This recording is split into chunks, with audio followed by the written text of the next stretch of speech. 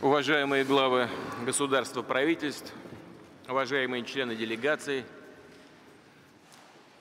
дамы и господа, искренне рад приветствовать вас на втором саммите глав государств и правительств форума стран-экспортеров газа. Без малого пять лет назад в Москве представители 11 стран подписали устав и соглашение о создании форума. Затем в рамках первого саммита форума была принята Дахийская декларация, в которой сформулированы и закреплены базовые приоритеты развития международных газовых рынков. Считаю, что таким образом мы заложили прочную основу для нашего долгосрочного партнерства. И действительно, за прошедшие годы форум достаточно быстро вырос из неформальной дискуссионной площадки – полноценную международную организацию, объединяющую глобальных лидеров добычи и экспорта природного газа. Вместе с тем, убежден, сейчас нам надо двигаться дальше, к более тесному взаимодействию, консолидировать наши усилия для эффективной защиты интересов стран-экспортеров газа, для улучшения конкурентных позиций этого перспективного и экологически чистого вида топлива. Полагаю, что ключевой задачей форума должна стать выработка солидарной позиции по вопросам ценообразования, создание условий для снижения избыточной волатильности цен, повышение транспарентности всей отрасли, что в целом будет способствовать развитию газотранспортной инфраструктуры и повышению надежности поставок.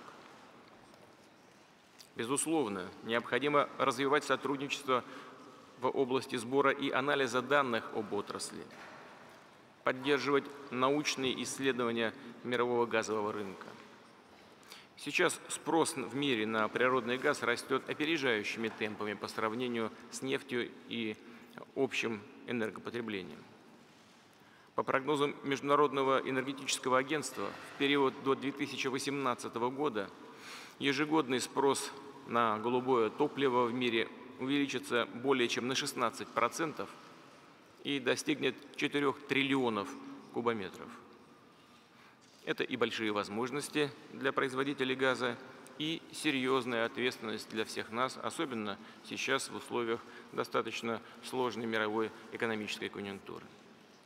Ведь именно в наших странах сосредоточено две трети, 65% доказанных мировых запасов – мы обеспечиваем почти половину глобального экспорта газа.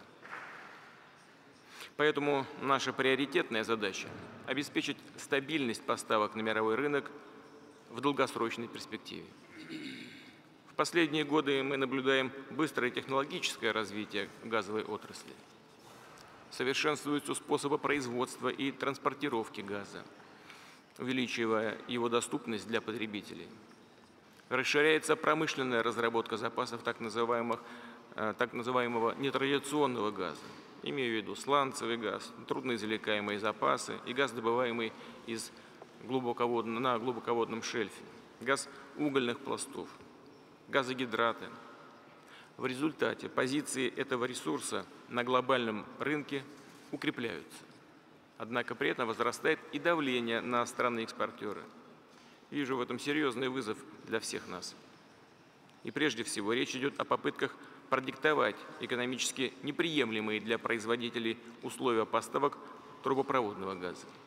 О желании изменить принципы поставок газа на основе долгосрочных контрактов, отвязать контрактные цены от стоимости нефти и нефтепродуктов как рыночного ценового индикатора, снизить уровень обязательных к отбору объемов газа. К сожалению, проводники такой политики зачастую не понимают, что отказ от базовых принципов долгосрочных контрактов не только нанесет удар по производителям газа, обернется серьезными издержками, но в конечном счете подорвет энергетическую безопасность самих стран-покупателей. Не надо забывать, что использование газа также является ответом на другой глобальный вызов – увеличение доли газа в энергобалансе позволит значительно снизить воздействие на окружающую среду, улучшить экологическую ситуацию. А за энергетическую и экологическую безопасность, безусловно, всем приходится платить, что справедливо и полностью отвечает духу рыночных отношений, без всякой примеси политизации этого вопроса. Безусловно, новые технологии добычи и транспортировки углеводородов повышают эластичность предложения на газовом рынке. Появляются новые ценовые ориентиры, в том числе и спотовые. Однако это не повод отказаться от проверенных временем и эффективных на практике инструментов, в том числе от долгосрочных контрактов и принципа «бери или плати». В совокупности эти два слагаемых энергетической безопасности обеспечивают окупаемость капиталоемких газовых отраслей с длинными инвестиционными циклами, а значит устойчивое опережающее развитие энергетической базы глобальной экономики на перспективу. Убежден, необходимо сохранить справедливое распределение рисков между экспортерами и импортерами. Не могу не сказать и о введенных в последние годы рядом стран-потребителей дискриминационных ограничений в отношении поставщиков природного газа. Имею в виду прежде всего изменения регуляторного энергетического законодательства в Евросоюзе, так называемый третий энергопакет. Введение в действие соответствующей газовой директивы серьезно ограничивает деятельность традиционных поставщиков газа на рынок Евросоюза. Поставщиков, которые десятилетиями инвестировали свои средства в развитие европейской газовой отрасли. В этих условиях ключевое значение приобретает солидарность стран-экспортеров газа. Противостоять неправомерному давлению, отстаивать интересы производителей и поставщиков газа на внешние рынки эффективнее, безусловно, вместе. Мы хотим, чтобы наши интересы справедливо учитывались. Именно справедливо.